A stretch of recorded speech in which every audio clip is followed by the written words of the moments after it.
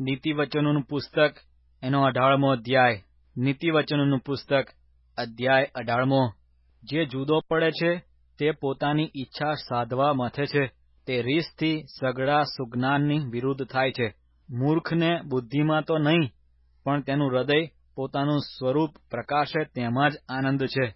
દુષ્ટ આવે છે, ત્યારે સાથે તુચકાર પણ લેતો આવે છે. અને અપકીર્તિ સાથે નિંદા પણ આવે છે. માણસના મોઢાના શબ્દો ઊંડા પાણી જેવા છે. જ્ઞાનનો ઝરો વહેતી નદી જેવો છે.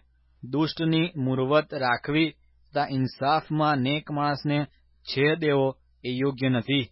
મૂર્ખના હોઠ કજિયા કરાવે છે અને તેનું મોં ફટકા માંગે છે.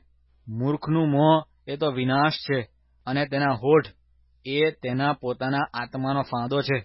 કાન ભંભેરનારના શબ્દો સ્વાદિષ્ટ કોળિયા જેવા છે. અને તે પેટના અભ્યંતરમાં ઉતરી જાય છે.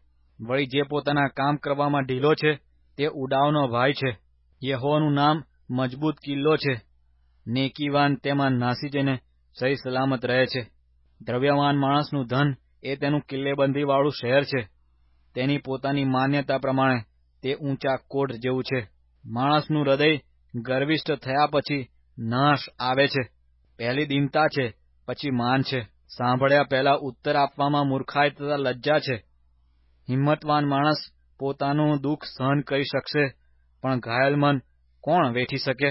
ડાહ્યાનું હૃદય વિદ્યા પ્રાપ્ત કરે છે અને જ્ઞાની વિદ્યા સાંભળવા મથે છે. માણસની બક્ષિશ તેને માટે માર્ગ ખુલ્લો કરે છે અને તેને મોટા માણસની હજુરમાં દાખલ કરે છે.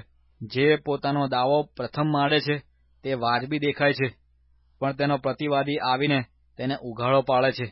ચિઠ્ઠી નાખવાથી તકરાર સમી જાય છે અને સમર્થોના ભાગ વહેંચવામાં આવે છે.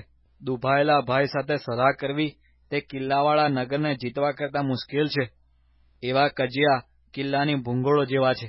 માણસ પોતાના મોઢાના ફળથી પેટ ભરીને ખાશે અને તેના હોઠોની ઉપજથી તે ધરાશે. મરણ તથા જીવન જીભની સત્તામાં છે અને તેનો જે જેવો ઉપયોગ કરશે તે તેવું ફળ ખાશે. જેને પત્ની મળે, તેને સારી ચીજ મળી જાણવી અને તેને યહોવાની મેર પ્રાપ્ત થાય છે. ગરીબ કાલાવાલા કરે છે, પણ દ્રવ્યવાન, કઠોર જવાબ આપે છે. જે ઘણા મિત્રો કરે છે, તે પોતાનું નુકસાન વહોરે છે. પરંતુ એક એવો મિત્ર છે કે જે ભાઈના કરતાં નિકટનો સંબંધ રાખી રહે છે.